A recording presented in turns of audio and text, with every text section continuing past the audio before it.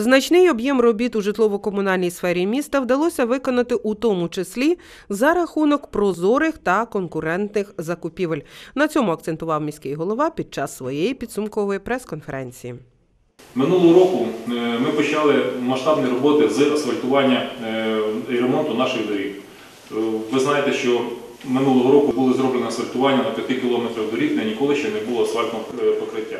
Нинішнього року ці роботи були продовжені. Уманщани вже відчули різницю і побачили суттєві зрушення в цьому напрямку.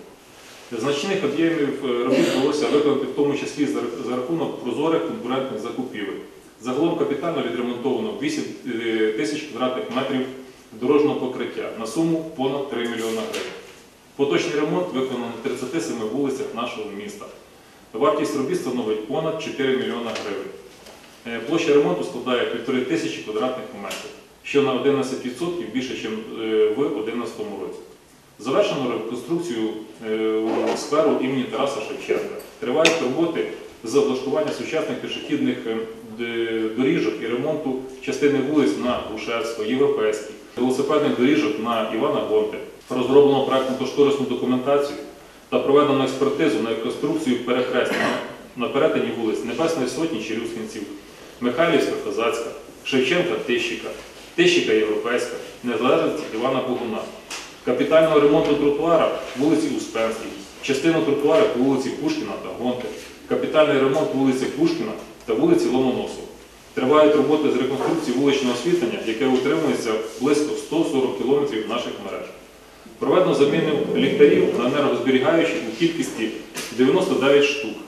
Повністю по вулиці Садовій, частково по вулиці Небесної Сотні, Європейській, Гайдамацькій, Незалежності. Замінено 187 ламп і світильників е, вуличного освітлення. На отримання вуличного освітлення з міського бюджету виділяється 1,2 мільйона гривень, що на 40% більше, ніж у 2016 році. З метою забезпечення громадського порядку в місті виконуються роботи з технічного обслуговування системи відеоспостереження.